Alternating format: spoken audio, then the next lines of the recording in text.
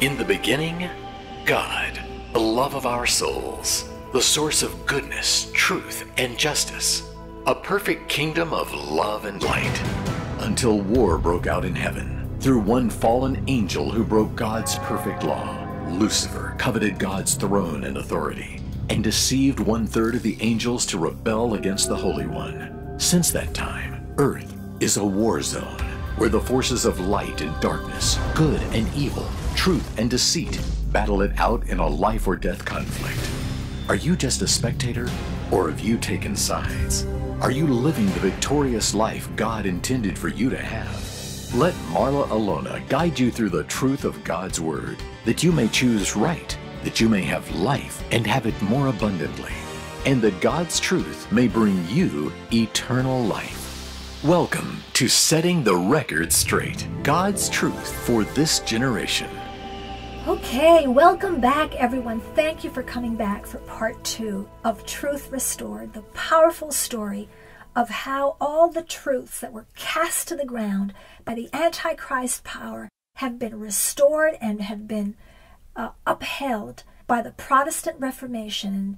2017 was the celebration of the 500th anniversary of the Protestant Reformation, and now we're going to get deeper into the prophecy of how the truth would be restored. So, in part one, we understood what were the truths that were cast to the ground. We understood um, a little bit about the history of the church and how some of these events unfolded over time. And now in part two, we're going to keep going deeper into scripture and into the sanctuary as our frame of reference. And we're going to talk now about the prophecies about the restoration of truth. And we're going to map these truths onto that framework or that skeleton which is the sanctuary, so that we can understand when the Bible says that the Antichrist power casts truth to the ground, casts the sanctuary to the ground, we're going to understand exactly what that means because we're going to go and pin every lie to an article of furniture in the sanctuary or a section of the sanctuary, and then we're going to do the same thing with the truth. We're going to take every major truth that was restored, and we're going to map that back to a corresponding section or article of furniture in the sanctuary. This is a beautiful study. I'm so glad that you're back with us for part two. Let's get started. The prophecy of the restoration of truth. Okay, now we're coming to the exciting conclusion in this whole drama of the defilement of the sanctuary by the little horn or the beast or the Antichrist power. It all means the same, it's all the same power. We're going to find out when and how, in God's plan of redemption, the sanctuary would be cleansed and restored. This was actually prophesied in the book of Daniel. This is so beautiful and so powerful. Let's listen closely to as this story actually this story is still in the making brothers and sisters. Okay there's a prophecy in the book of daniel that tells us when the sanctuary would be cleansed and restored. That prophecy is the famous prophecy called the 2300 day prophecy. It's found in daniel 8 verses 12 to 14 we have dealt with this prophecy in the past but today we're going to look at it from a slightly different angle it's the continuation of the passage that we read in part one, where it was telling us, where the book of Daniel was telling us that the Antichrist power took away the continual sacrifice, meaning Jesus' perfect sacrifice was taken away, was removed by the Antichrist power. Well, these are the verses right after that verse, that passage, if you will. So now let's read Daniel 8, verses 13 and 14 now. Then I heard one saint speaking, and another saint said unto that certain saint which spake, How long shall be the vision concerning the daily or the perpetual sacrifice and the transgression of desolation, to give both the sanctuary and the host to be trodden under foot? The RSV says, to be trampled under foot. And he said unto me, unto two thousand and three hundred days. Then shall the sanctuary be cleansed. This is so important. Let me read that again. And he said unto me, Unto two thousand and three hundred days, then shall the sanctuary be cleansed. Remember, we're talking about prophetic time. We're dealing with prophetic time. So if it says 2,300 days, what does that mean? It means 2,300 years, 2,300 years. That's a long time. Okay. Now, it's very interesting that the again the RSV, which is the Revised Standard Version, uses the language the sanctuary shall be restored to its rightful state. So instead of saying, Then shall the sanctuary be cleansed, it says, The sanctuary shall be restored to its rightful place. That's a very important nuance there because um, what we're going to be focusing on now is not the cleansing of the sanctuary. We've already dealt with that when we studied the Day of Atonement. Remember, the Day of Atonement is the cleansing of the sanctuary. Now we're going to deal with the other side of the coin, which is the restoration of the sanctuary, the restoration of its holiness, its authority, and its truth.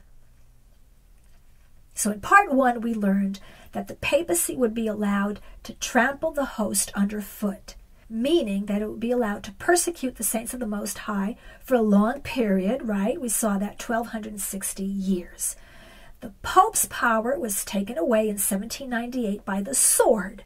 What does that mean? The sword means the military power. Napoleon's army arrested and imprisoned the Pope. He was taken captive. And the Bible, it's interesting, in Revelation 13:10, the Bible had prophesied that, already John the Revelator had prophesied that when the Bible says of the Antichrist, he who leads into captivity shall go into captivity. He who kills with the sword must be killed with the sword. Here is the patience and the faith of the saints. Revelation 13, verse 10. So God used the French sword, the French army, the military, to render justice unto the papacy.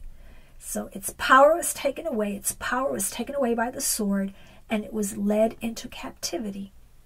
In fact, the Pope lived almost as a prisoner inside Vatican City for a 140 years. It was Mussolini that restored the Pope's sovereignty over the Holy See. So the Holy See is another name for Vatican State. So when Mussolini was rising up to power, he established a pact with the papacy. Now we're going to read now a quote from the New York Times published on February 12, 1929. It reads Rome, the Pope is again an independent sovereign ruler as he was throughout the Middle Ages. Though his temporal realm established today is the most microscopic independent state in the world and probably the smallest in all history. So, on that day in 1929, the Italian dictator Benito Mussolini, who subsequently became Hitler's closest ally, signed the Lateran Concordat or the Lateran Pact with the papacy. And the papacy, uh, well, the Pope didn't come in person. He was represented by Cardinal Gasparri. There's actually a photo in the New York Times of that day in 1929 of Cardinal Gasparri.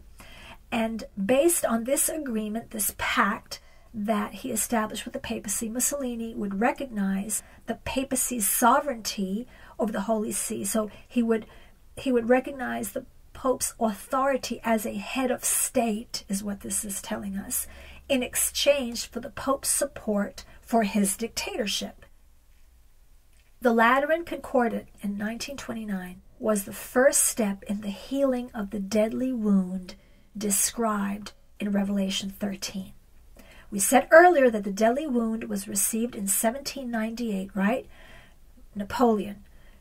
1260 years have gone by. 1260 years as prophesied of papal power and uh, a reign of terror, actually, if the truth be said. It was a reign of terror for 1260 years.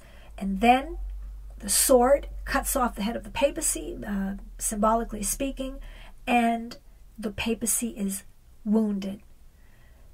The healing of the wound started again in 1929 through this agreement between Mussolini and the Pope, and that healing continues today. And I believe that under Pope Francis, I believe that that healing will be complete. Let's go back now to the cleansing and the restoration of the sanctuary. So the saint that Daniel overheard in his dream or his vision said, Unto 2,300 days, then shall the sanctuary be cleansed or restored. That was Daniel 8:14. So the key question at this point is when did the 2300 years start and end, right? That's the only way. In the same way that we said the 1260 years started in the year 538 and then extended until the year 1798, we also need to know well, when does the 2300 year period start, right? When does the counter start? And when does it end? Because this is a very long period of time. So, let me give you the answer. The starting point for the 2300 year prophecy was the year 457 BC before Christ. How do we know that? Okay, we don't have time to go into all the detail now, but suffice it to say that the 2300 day prophecy has the same starting point as the 70 week prophecy, also called the 490 year prophecy and they both start counting when Artaxerxes, king of Persia, issued the decree to restore and rebuild Jerusalem. There are several decrees given by King Cyrus, for example. He was the one who started with the decrees. He, King Cyrus first gave a decree that they uh, should go back and start building up the temple again, rebuilding the temple. But this was the third decree and last decree on the matter of the temple and, and the city of Jerusalem.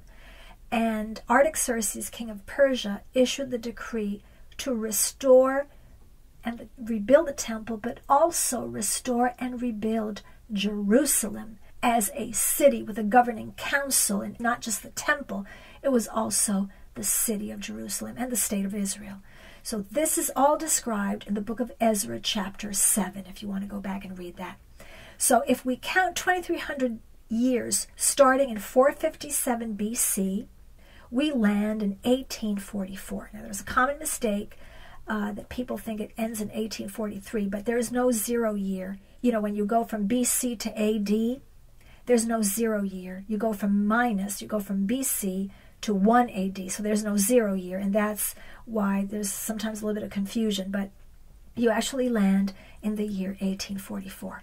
So this means that by the year 1844, the sanctuary was going to be restored and cleansed.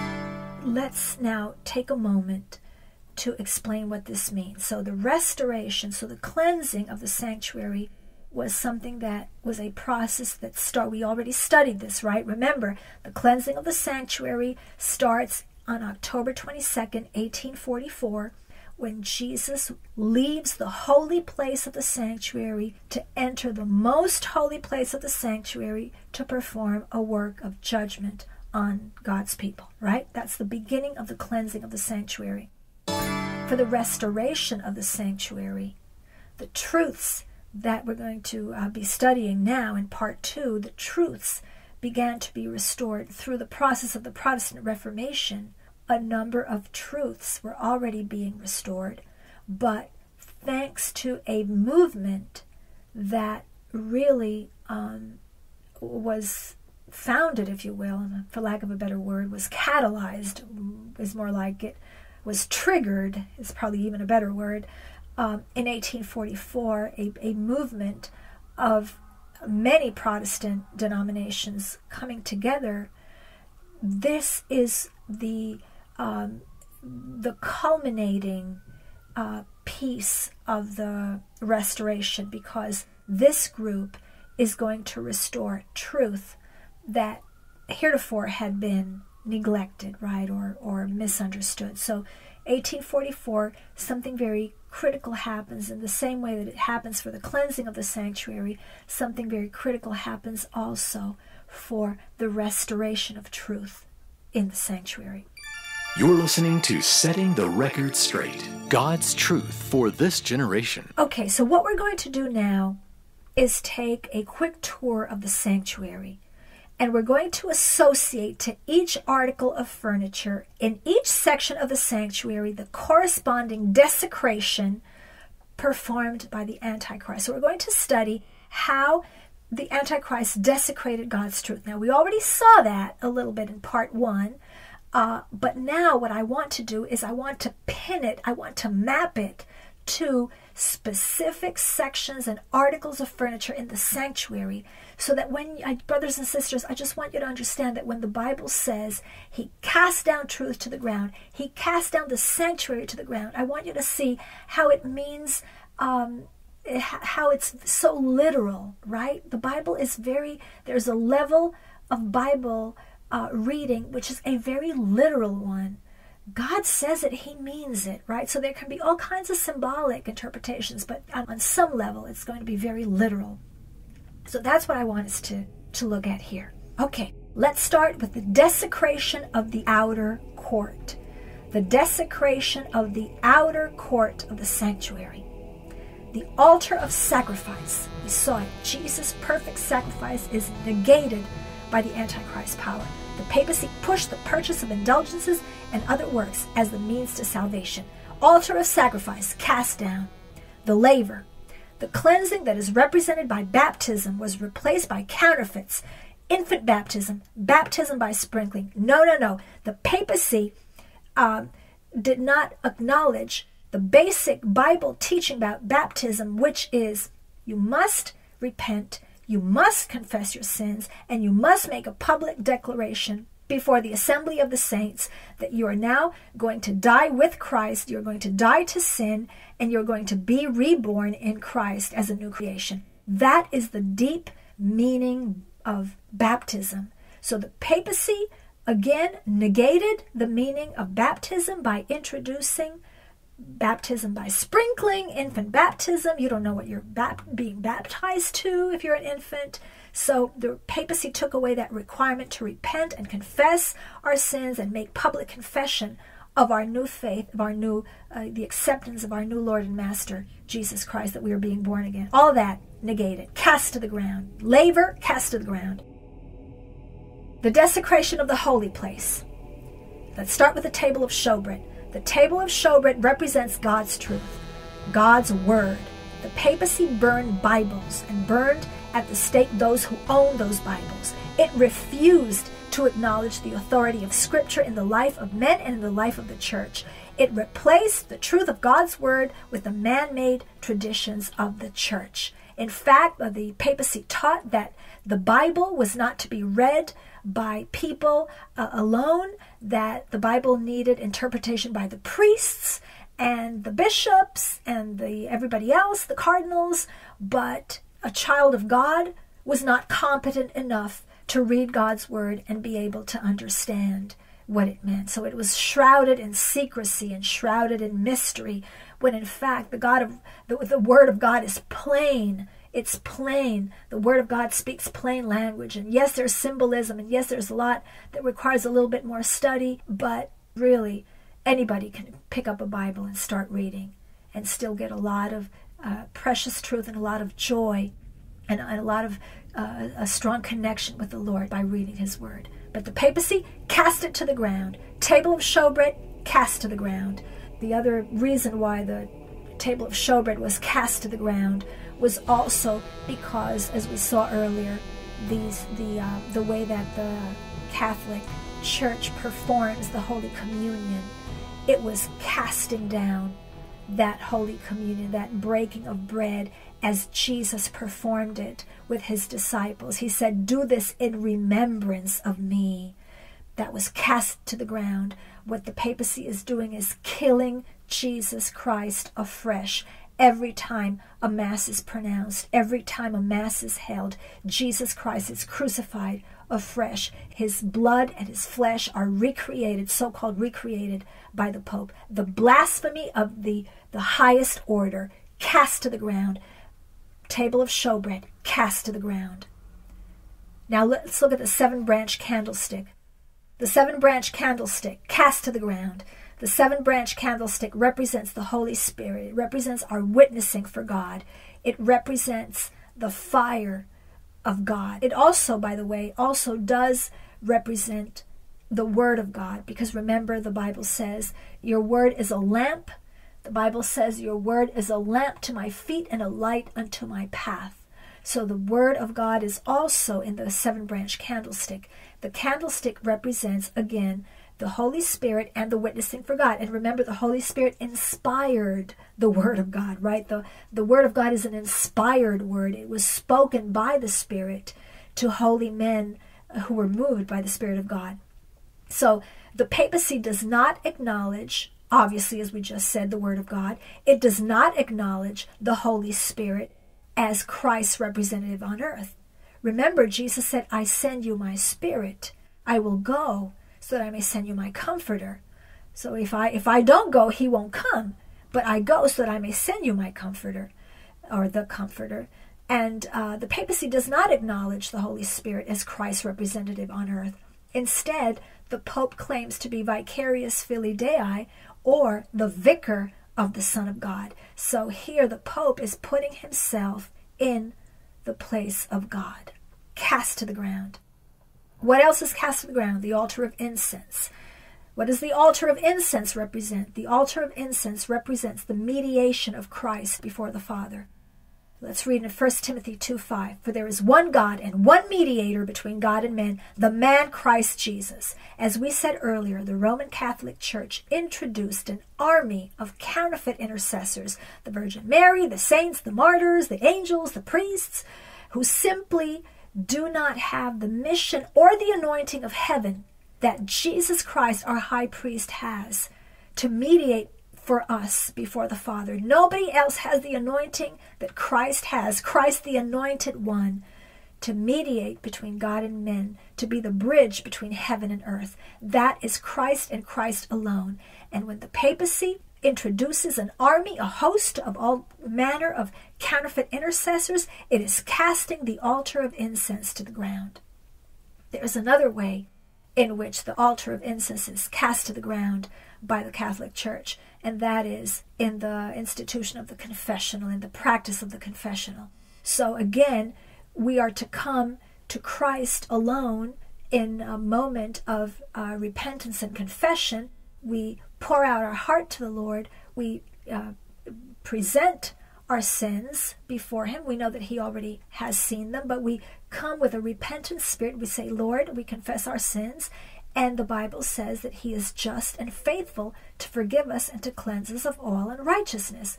So, what is happening here is that there is a man, again, sitting in the place of God a priest sitting in the place where God should sit, where Jesus should sit, and this man is listening to the confession of other human beings and pretending that he has the power and the authority to absolve of sin, to, to forgive sin. He does not have that authority. That authority belongs to Jesus Christ alone. And that is uh, clearly stated in Mark 2 7. God alone can forgive sins. Mark 2, verse 7. The desecration of the most holy place.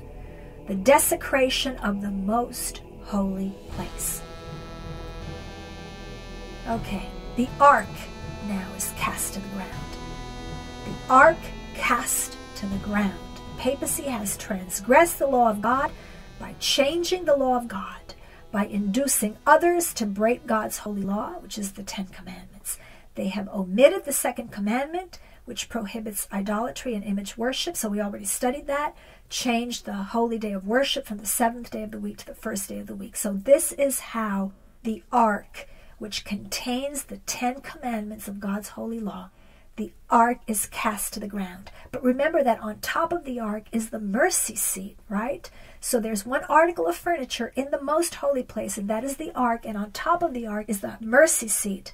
And this is God's throne where he sits. God sits sovereign over the entire universe.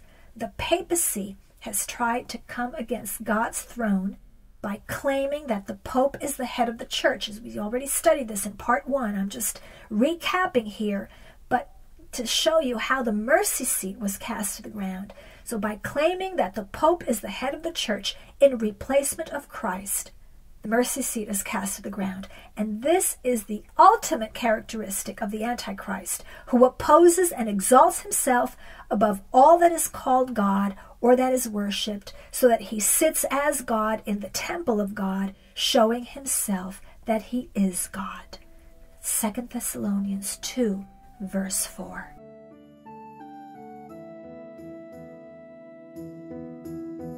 Truth restored. The light of the Bible was the main catalyst of the Protestant Reformation. Very early in the Christian era, Jerome had translated the original Greek and Hebrew manuscripts into Latin, and this is what is called the Latin Vulgate. So, this is a very early translation from the Greek and the Hebrew. But remember from what you know about history, right? Only the very privileged the rulers and the Catholic clergy could read Latin, right? The people had not been instructed in Latin. So, what really sparked the spiritual flame that set Europe on fire with the Protestant Reformation was the translations of the Latin Vulgate Bible into the language of the people. So, we said in part one, we're just reviewing here quickly, the Waldensian movement that started in the south of France towards the end of the 12th century translated the Bible into the Romance language. So that was the Bible they had. They had translated it into the Romance language. And as you know, the Romance language is the foundation of a lot of the Latin languages like uh, French, Italian, Spanish, uh, Portuguese. These are all called Romance languages. Then this uh, Romance language Bible was followed by John Wycliffe's translation into English. And then by Martin Luther into German. So from the 1300s through the 1500s, actually 1600s for Martin Luther and uh, the German Bible, for a period of roughly 300 years, these native language translations of the Bible are just pouring fuel into that flame of that Protestant Reformation. And the light that was shed by God's Word brought an entire continent out of the darkness of superstition and the, the slavery to the popes and the clergy and the whims of, the pope and the whims of the monks and the friars and the clergy. And all of that was swept away by the powerful rising of the Protestant Reformation. The people could now read God's word by themselves without the need of an interpreter or a translator.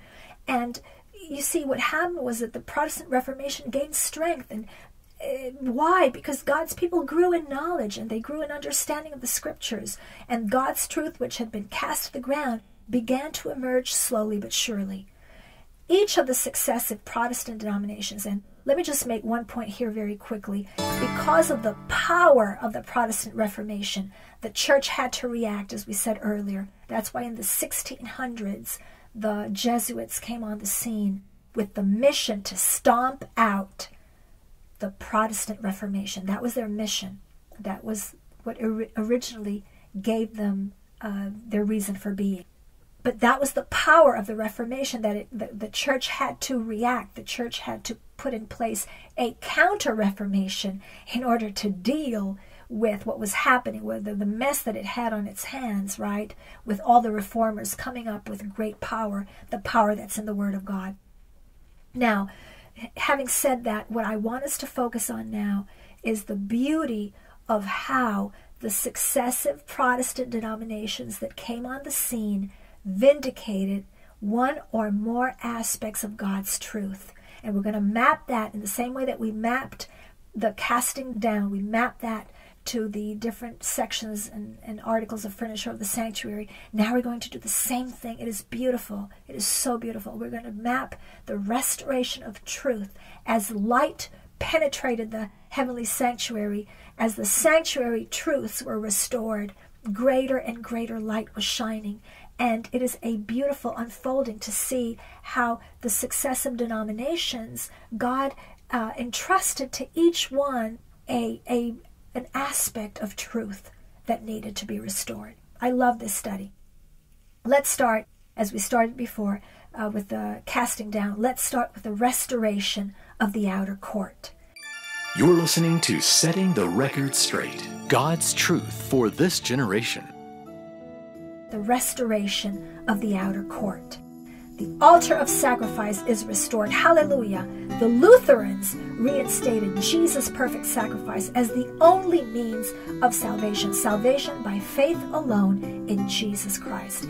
Salvation cannot be gained by works, but only by faith in Jesus Christ. Salvation cannot be purchased it can only be gained by faith in Jesus Christ. This is the Protestant doctrine of righteousness by faith. Hallelujah. Praise the Lord that the Lutherans reinstated this beautiful truth. The restoration of the laver. The Baptists reinstated baptism by immersion, and they reinstated baptism as the key way, the only way to make public confession of our faith and die to sin and die to self and be reborn with Jesus as a new creation. Praise the Lord. The restoration of the holy place. The table of showbread is restored. Hallelujah. The table of showbread represents God's word.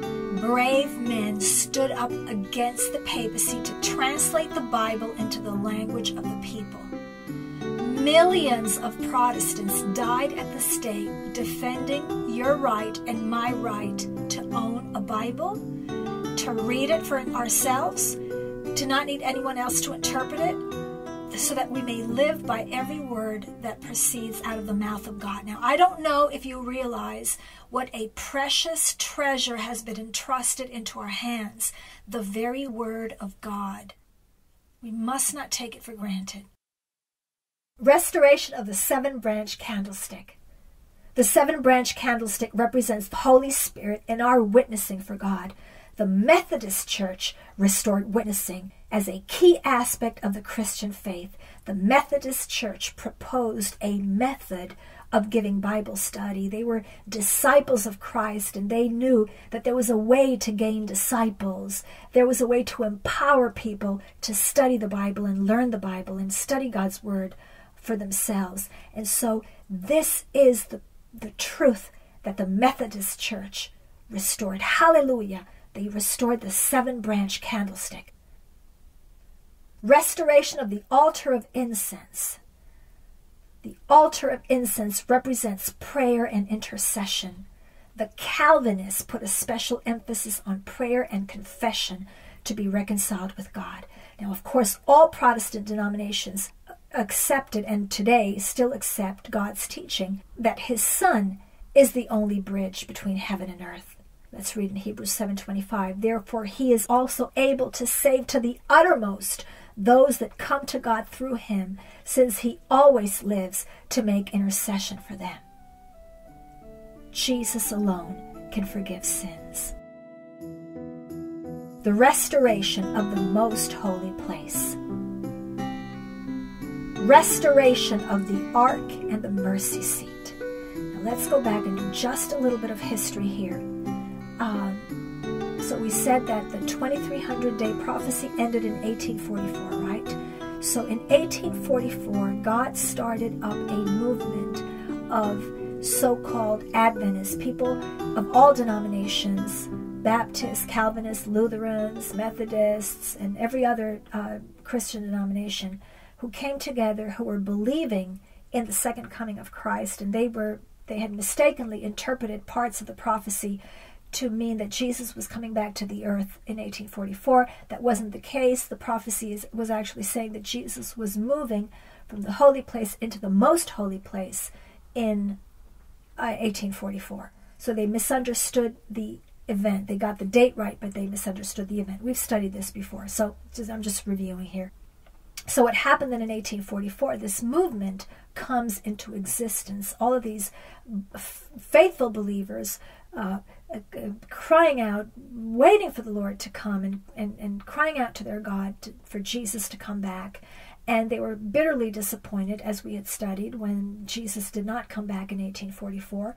But then this movement continued. They continued searching scripture, they continued trying to understand and decipher the prophecies, and that led to the creation of the Seventh day Adventist Church. The Seventh day Adventist Church, when it in, at, its, at its inception, was not a denomination, it was a movement. It was a cross denominational movement. It subsequently lost a little bit of its fire, sadly, and it became a denomination. But truly, its origin was a cross denominational movement of people who were believing in the second coming of Jesus, people who were eagerly waiting and expectantly uh, awaiting the return of the Messiah. And this impetus that they had led them to study and restore other truths that had not yet been restored by the preceding Protestant denominations. So, what truths does the Seventh day Adventist church or movement restore? Okay, so we're talking about the most holy place where we have the ark and we have the mercy seat. So the ark, we said, represents the law of God.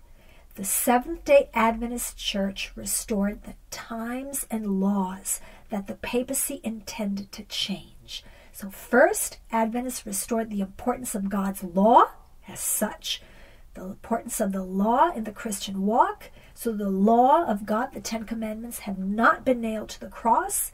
The Ten Commandments are still in force. And the Adventists restored, therefore, the second and the fourth commandments. And interestingly enough, both commandments relate to proper worship. And we know that in the end time, the issue at the end of time, the issue over the mark of the beast is an issue of worship. The end time issue is over worship. Who will you worship, the beast or God? So the Adventists who came late onto the scene of the Protestant Reformation. The Adventists restored the importance of the second law uh, we're not to worship idols or images, and the fourth commandment, the fourth law, which is keep the Sabbath holy, not the first day of the week, but the seventh day of the week.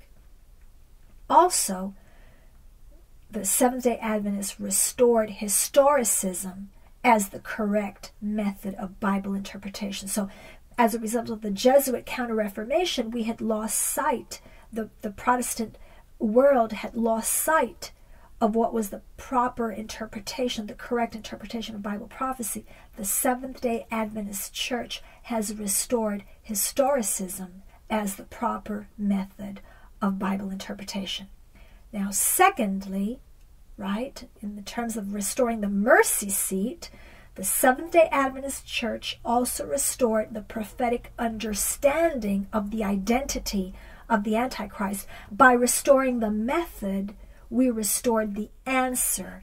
By using the right method, by knowing what is the right method to interpret Bible prophecy, we get to the right answer of who the Antichrist is. This knowledge had been lost but the Seventh day Adventist Church, starting roughly around the year 1844, started to restore this truth. And this Seventh day Adventist movement has a duty, a responsibility, a sacred responsibility to educate the Protestant world, the evangelicals in particular, but the entire Protestant world, about the proper interpretation of Bible prophecy. Now, by restoring the method, the Seventh day Adventist Church is able to clearly identify the Antichrist power and, and, and say who, what is the identity of the Antichrist power. The Antichrist power, without a doubt, is the papacy by doing so, by denouncing the Antichrist power SDA, Seventh day Adventists or SDAs, have restored the mercy seat as the throne of the true God. The Pope has tried and continues to try to usurp the place of God, the seat of God, the throne of God. But the Seventh day Adventist Church is saying, Sorry, you are not God. You do not sit in the place of God. You do not show yourself in the temple, showing yourself that you are God and sitting in the place of God. No, the mercy seat belongs to the one true God and his Son, Jesus Christ, whom he has sent. The ultimate choice. Think of this process of the Protestant restoration of truth as a relay race brothers and sisters were hungry for truth after centuries of lies and deceptions. They were looking to obey God and not the vain traditions of men. The Waldensians, the Lutherans, the Baptists, and the Methodists, among other denominations, all carried the baton forward to each successive team until the baton is brought to the finish line. Seventh day Adventists are charged with finishing the work. Now, Seventh day Adventists are not better than anyone else. They were simply raised up for such a time as this. SDAs are a prophetic movement that was made up of pioneers of all denominations. To SDAs, to Seventh day Adventists, has been entrusted the saving truth for the last generation, the generation that will face the most trying time ever since there was a nation. Matthew 24.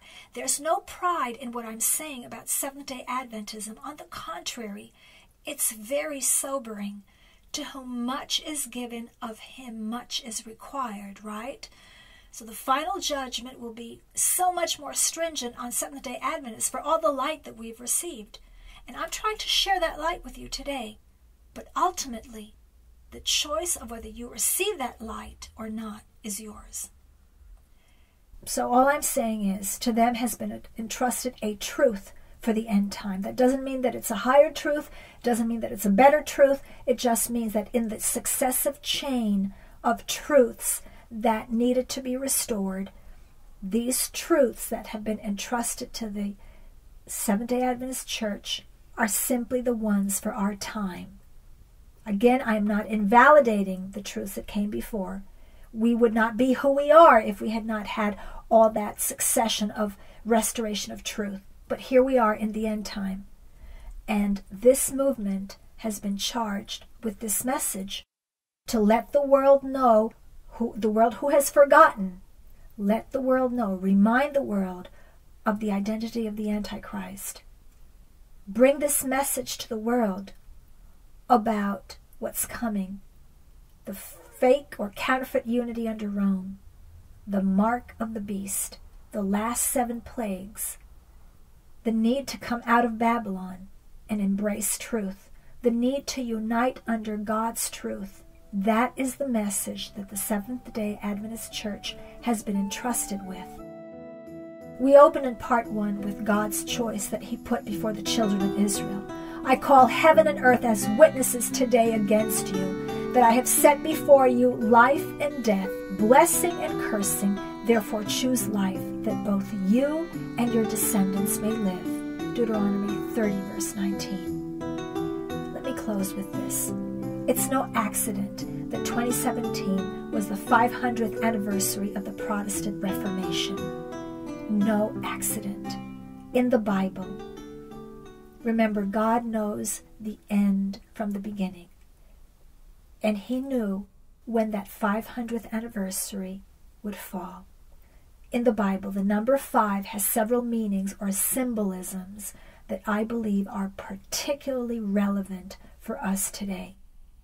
So the 500th anniversary is not by accident, not by chance, not by coincidence. But the number five has meaning. Let us understand what are the meanings associated with the number five. The number five represents grace, it represents intercession, and it represents God's goodness. You're listening to Setting the Record Straight God's truth for this generation. The tabernacle, now why do I say that? The tabernacle that Moses built up in the wilderness for the Lord was a mini model of the plan of salvation. We already studied this. But, interesting fact, the tabernacle was built mostly on five by five measurements. The tabernacle had five priests, Aaron and his four sons, who ministered to God in that tabernacle and interceded on behalf of the people. So I believe that God is saying something about the restoration of the tabernacle, the restoration of the sanctuary in this 500th anniversary, brothers and sisters. The truth of the sanctuary needs to be restored. All of it. All of it. Now, what else is associated with the grace and the goodness of God and the intercession before God? Well, Abraham pleaded with God on behalf of Sodom and Gomorrah. And when Abraham interceded for Sodom and Gomorrah, he started by asking God whether, remember when he was testing God's grace and he said, uh, Lord, if you find 50 righteous, will you spare the city? If you find 45 righteous, will you spare the city? If you find 40 righteous, will you spare the city? So Abraham was pleading with God, interceding and subtracting by five on his intercession. The goodness of God is shown by uh, Jesus feeding the multitude of 5,000 with five loaves of barley. And finally, God holds us in the palm of his hand as a manifestation of his goodness and his grace. Literally holds us in the palm of his hand, which, by the way, has five fingers. And God reassures us that nothing can snatch us out of his hand. The number five also represents righteousness or right doing. Five is the number of the fingers on each of our hands because we were made in the image and the likeness of God, and the hand represents doing. So, this is why I believe that the number five also represents righteousness or right doing. Righteousness is right doing. God, what else uh, leads me to say this? God gave the children of Israel the Torah or the Pentateuch, the five books of the law. And in those five books, the children of Israel had everything they needed to live in right standing before God. Messiah had not been born yet, but everything that they were doing revolved around the sanctuary. All the feasts, all the offerings, all the sacrifices, the intercession, it all revolved around the sanctuary. And it was all described and all codified in those five books of the Torah. And then in terms of righteousness and right doing, God gave the children of Israel five types of sacrifice that they needed to offer on a regular basis as part of the sanctuary system in order to walk with Him the burnt offering, the sin offering, the trespass offering, the grain offering, and the peace offering. Finally, the number five represents preparedness. It represents preparedness, being prepared to defeat the enemy of our souls. So David gathered five stones to fight Goliath, and he won, by the way.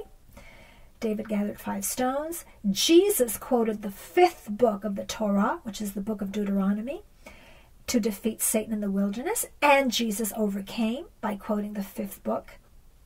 Now, God's anointing oil in the tabernacle was based on a formula made with five ingredients. This is very interesting. Five ingredients in the anointing oil used in the tabernacle, and we know that the oil represents the Holy Spirit. And this leads us to the last five, the five unwise virgins or the five foolish virgins versus the five wise virgins who had oil in their lamps, meaning that they had the Spirit of God in their lamps and the five wise virgins were prepared to meet the bridegroom. The Lord is telling us today, I believe, again, no accident, all these fives, the Lord is telling us today that all the truths of the sanctuary need to be restored. We are in danger, brothers and sisters. We are in danger of forgetting as a Protestant movement, as Protestants as members of Protestant denominations, all of us run the dangers of being drunk with the wine of Babylon. We run the danger of forgetting who we are. We run the danger of having amnesia, collective amnesia, and forgetting who we are as a denomination and who we are as a Protestant people. Forgetting the truths that people have died for, forgetting the truths that have been uh, restored at such high cost, we are in danger of losing everything that we have acquired. We are in danger of the leaders of the Protestant denominations, the false prophet of the evil trilogy. Remember the evil trilogy in the book of Revelation the dragon, the beast, and the false prophet. We identified the dragon, Satan. We identified the beast, it's the papacy.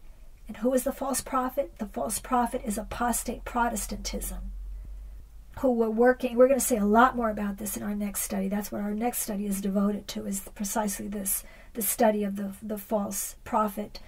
But we run the risk of these apostate leaders just completely renouncing truth, compromising truth, and shaking hands with the beast power, shaking hands with the Antichrist power, and coming together in an unholy alliance with the papacy that will lead, as we said earlier, to the taking of the mark of the beast, worshiping on Sunday and taking the mark of the beast.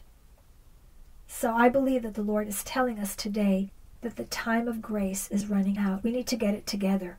We have got to get it together. And the question is will Jesus find a people willing to stand in the gap for apostate religions, apostate nations, apostate denominations? Will he find a people willing to stand in the gap, to intercede, to plead for those people? Will Jesus find a people obedient to his law and living by his word? Will he find a people prepared to stand in the time of trouble that's about to be unleashed on the whole world? Will Jesus find a people that will be willing to give up their lives if required, but not compromise the truth of the Word of God? Not compromise God's Ten Commandments? Will Jesus find faith on the earth? Will Jesus still find faith on the earth when he comes? Where do you stand? Where do you stand?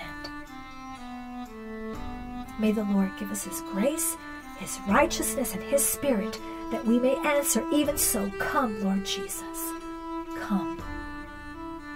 Father in heaven, we thank you, Lord, that you have given us this precious light, this precious unveiling of truth to open our eyes. I pray that the scales would fall off of our eyes. I pray that there would be no more blindness, no more Laodicean blindness, but that you would give us eye salve to see the truth about our spiritual condition, but also to behold great things in your law and in your holy word. Father, I ask for each and every one of us the anointing of your Spirit, that we may be prepared to stand though the heavens fall, that we may not be caught without oil in our lamps, but that each and every one of us will burn brightly with the Word of God, bright witnesses, flames of fire, as fell upon the disciples at Pentecost, that we would be covered in the glory of God, beholding you, Father, that we may become transformed and changed from glory to glory, and that others would look upon us and see the glory of Christ reflected in us, not our own glory, but your glory. Father, I ask that every person who has listened to this study, who has taken these truths to heart, I pray that you would protect them, Lord, from taking the mark of the beast, that each and every one of them, Father, would, would rather die than sin against you, and that all of us together will be standing, will be able to stand until the very end to greet and meet our Lord Jesus in the air. Father, I thank you. I give you honor and glory in Jesus' holy name. Amen.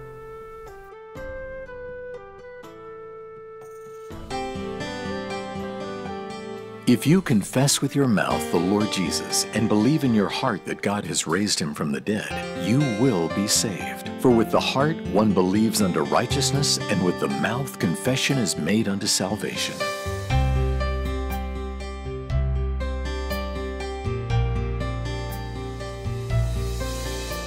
And God shall wipe away all tears from their eyes, and there shall be no more death, neither sorrow nor crying neither shall there be any more pain, for the former things are passed away.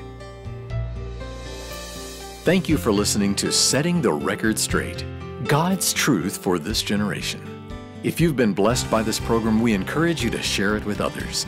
To ask any question related to this Bible study or any other spiritual matter, email us at info at citybiblegroup.com.